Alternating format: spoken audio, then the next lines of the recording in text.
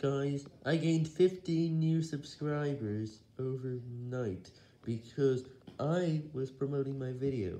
Look at all of these views coming in.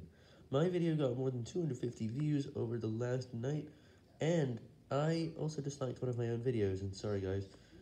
But it's New Year's Eve, everyone should be happy.